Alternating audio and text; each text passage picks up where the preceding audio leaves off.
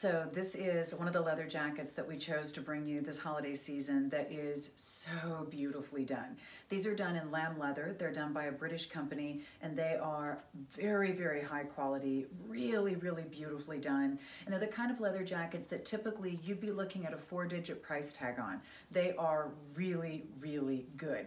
This is the one that I love because there is no embroidery. This is gonna be strictly the stud design as you can see, right? Strictly stud. And it's the only one that has the stand-up collar, more of a mandarin collar instead of the usual point collar. So I love both, but I know some people have a strong preference, so we wanted to have one with this collar, one with the other collar. This is gonna be super simple. You can zip it if you want. By the way, I do believe that it runs really true to size. Hold on. I don't have my reading glasses on, so zippers are challenging for me.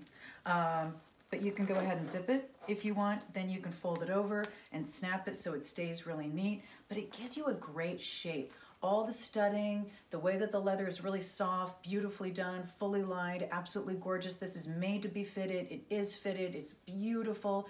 This can be a simple jacket that you wear just because it looks good. This is going to be something you throw on over.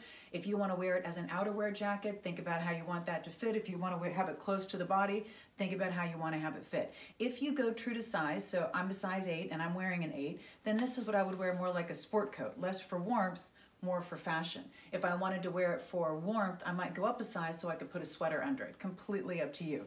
But look how beautiful this jacket is. This jacket looks like you broke the bank.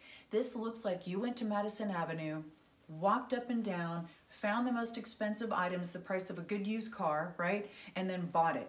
That's what it looks like. That's what it feels like. That's what it's made like. If you're someone who really knows good quality fashion and you're a girl who really loves to invest in good things, this is going to be the biggest find of the season.